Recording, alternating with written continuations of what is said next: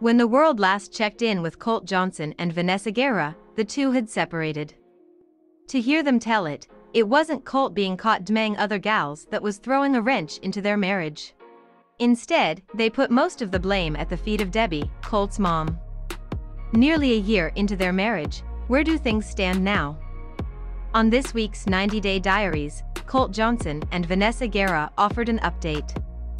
We've been married about 10 months now, Vanessa shared to the camera. With that date, this was filmed in December 2021. 90 Day Diaries doesn't require as many months to film and edit as the main shows do.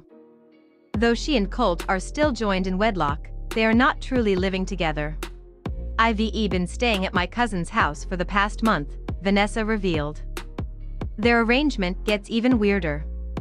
According to Colt, he spends the day with his mom every day. Each night, he spends with Vanessa. That is not a recipe for a happy marriage, and clearly they are both feeling that.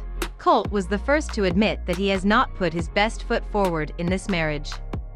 He characterized his actions as coddling his mother while simultaneously taking advantage of Vanessa's patience. But Colt being joined at the hip to Debbie is nothing new, so why isn't Vanessa just along for the ride? According to Vanessa, a grown woman, she felt more freedom at her cousin's house than she does with her husband and mother-in-law. She explained that Debbie would meddle in her marriage.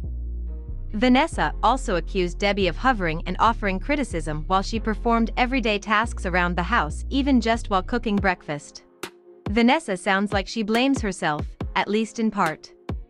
She says that she and Colt never really discussed what their lives would look like together as a married couple before they got married. Vanessa very naturally assumed that they would live together as spouses, but Colt apparently didn't think about moving at all. If I could go back and change anything, Vanessa admitted to the camera, I would probably really discuss our future before getting married. 90 Day Diaries is just that it's a check-in with cast members and couples, not a season-long journey. We didn't get any real resolution from this, and we likely won't. Unless these two chuckleheads show up on a future episode, or even season. The real takeaway from Colt and Vanessa's ongoing issues, and we don't just mean Debbie, who makes a convenient scapegoat, is a little different. A lot of people may owe Larissa Lima an apology. While Colt's cheating scandal while married to Larissa was much worse than his possibly isolated DMing incident last year, a lot of this sounds familiar. Debbie and Larissa get along these days, it's actually wonderful to see their social media exchanges.